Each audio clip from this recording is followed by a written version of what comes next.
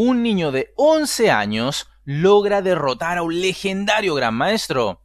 Así podríamos titular este video que exhibe esta partida de una simultánea efectuada en Moscú, capital de la Unión Soviética, en el año 1974, donde el gran maestro encargado de jugar contra varios jugadores al mismo tiempo, en diferentes tableros, claro está, era el legendario Yuri Averback, reconocido como uno de los grandes maestros de la Unión Soviética más potentes y que hoy, año 2021, cuenta con 99 años de edad, siendo así el gran maestro más longevo de nuestros días.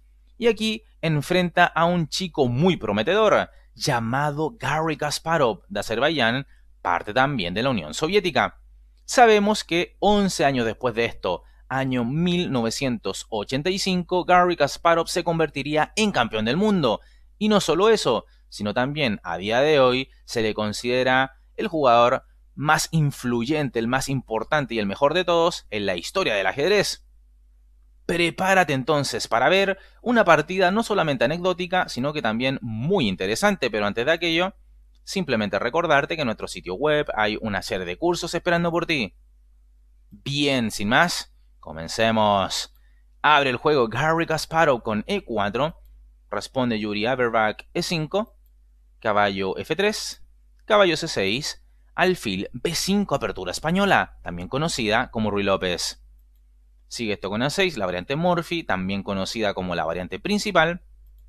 Alfil por C6, la variante del cambio, que tiene como idea evitar toneladas de teoría, que es la que tiene la apertura española. De hecho, la variante del cambio apela a dañar la estructura de peones de las negras, pero a cambio estas últimas tendrán la pareja de alfiles.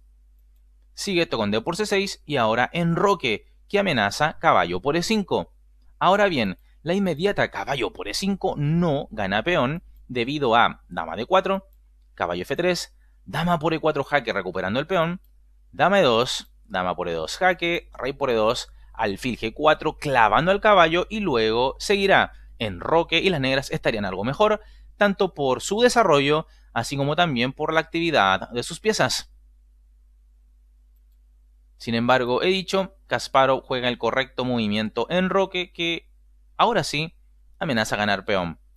Por lo tanto, Averback responde dama de 6, evitando la caída de este importante peón E5, Kasparov D3, F6, alfil E3, C5 controlando la casilla de D4, caballo F2, alfil E6, caballo C4 atacando a la dama, dama de 7. A ver, también es posible de jugar alfil por C4 y con esto, digamos que las negras ceden la pareja de alfiles. Probablemente Averback optó por no jugar de esta manera porque ha dicho, ok, a este chico no lo conozco, así que voy a jugar a ganar con negras, manteniendo la pareja de alfiles. Pero, ¿qué pasa aquí? La posición sigue con D por C4, dama por D1, torre por D1, alfil D6, caballo C3 y lo que dije, esto puede llevar a una posición casi simétrica con pocas posibilidades de denivelar para las negras. Así es que, como ya señalé, Averback prefiere mantener piezas en el tablero, no sé si mirando en menos al chico, pero optando por jugar a ganar, ¿no? Con la mayor cantidad de piezas posibles y sobre todo con damas en el tablero. Bueno, Sigue la partida con A4 evitando B5. Enroque. Caballo C3. Caballo E7. Una jugada curiosa porque está cediendo al niño el peón de C5. Aunque déjame recordarte que esto es una simultánea. De pronto, como se está jugando contra tantos jugadores al mismo tiempo en diferentes tableros, los grandes maestros podrían, tal vez, sufrir algún despiste, ¿no? Pero caballo E7, como he dicho, cede el peón E5. Por lo tanto, aquí lo que dicta la naturaleza de la posición es B6, ¿verdad? Protegiendo al peón de C5 antes de jugar un caballo E7. Y fíjate que si ahora A5, simplemente B5 y se mantiene segura la posición en el ala de dama, ¿no? Pero bueno, lo jugado en la partida ha sido caballo E7 que brinda a las blancas el peón de C5. Así es que Casparo llega y lo zampa, alfil por C5 ganando peón, alfil por C4 no sé si sea conveniente el ceder la pareja de alfiles tan pronto. Por lo tanto, aquí un caballo C6, mejorando la posición del caballo, parecía ser la mejor opción en esta posición. Pero bueno, alfil por C4 juegan las negras. Sigue esto con D por C4, dama C6 atacando simultáneamente al alfil y dama. Entonces dama G4 jaque. Sigue esto con F5, E por F5, H5, dama H3, dama por C5, F6, jaque, rey B8, F por E7, alfil por E7, B3, torre D4. Digamos que es una jugada que luce activa, pero tal vez no es la más favorable, sobre todo porque puede permitir simplemente a las blancas buscar las simplificaciones en la columna D. Pero bueno, sigue la partida con torre a D1, lo dicho, alfil F6, torre por D4, E por D4, caballo D5, pedazo de caballo, ¿no?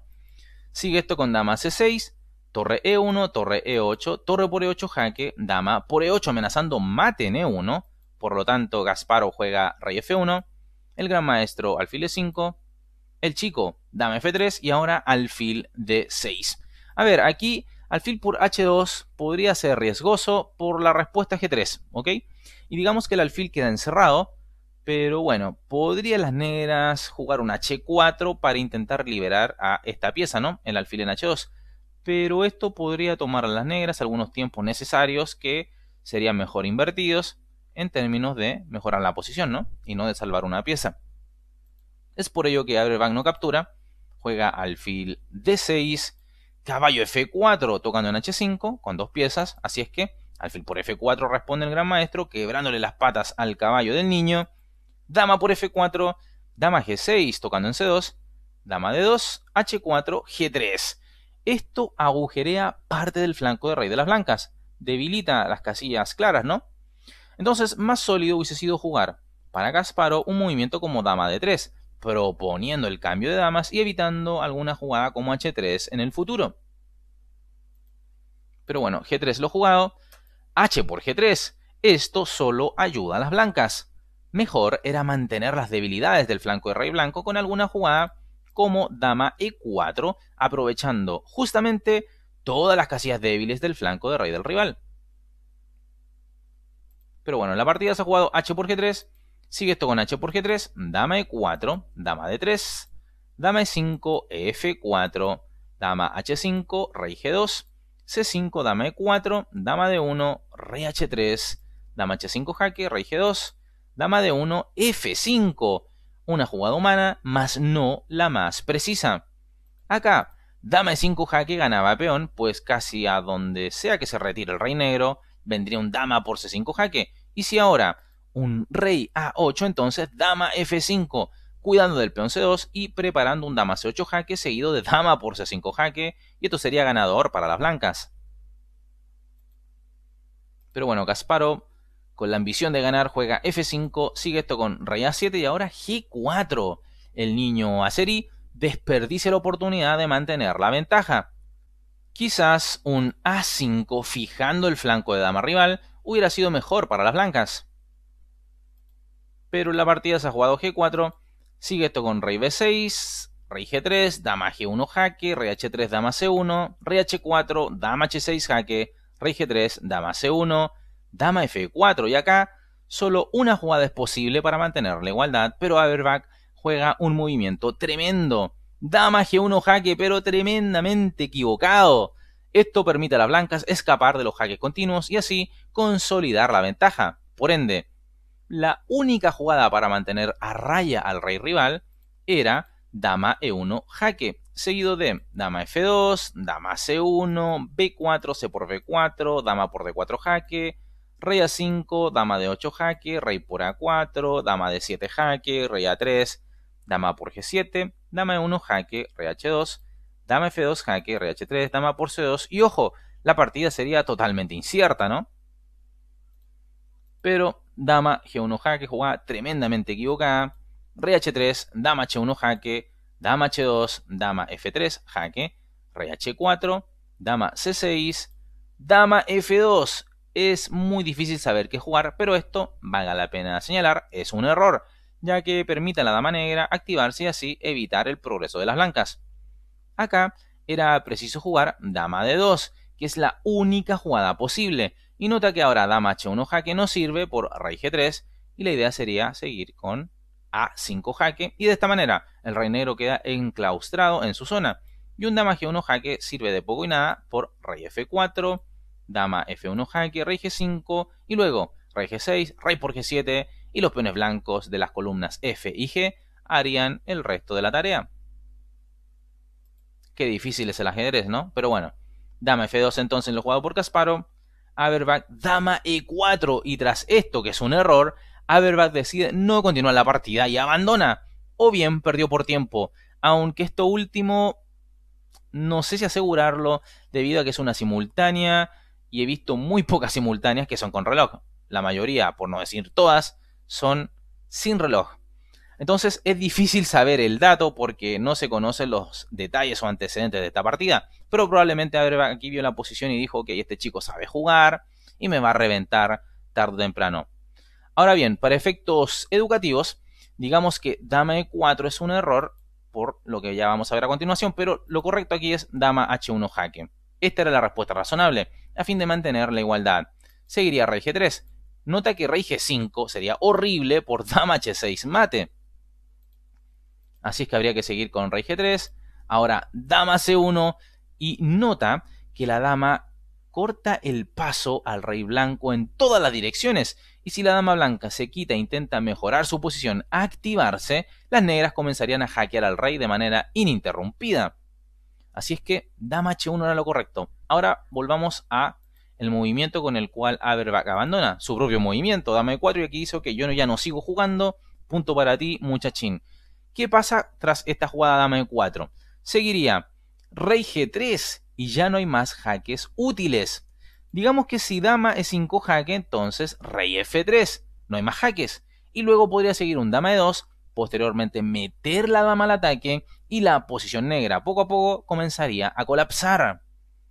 Gary Kasparov, un niño de solo 11 años, logra derrotar a un gran maestro legendario como Yuri Aberbach y con ello demuestra que tenía un futuro esplendoroso, el cual sabemos se confirmaría con letras mayúsculas.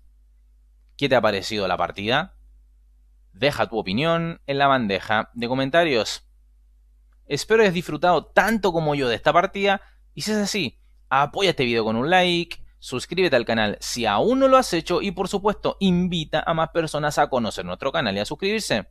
Como siempre me despido, reconociendo los mejores comentarios del video anterior. Y también agradeciendo a los miembros por creer en partidas inmortales de ajedrez. Te dejo ya mismo en pantalla dos videos sugerencia para que te sigas empapando y entreteniendo con el ajedrez en nuestro canal. Te mando un fuerte abrazo y te cuidas. Hasta luego.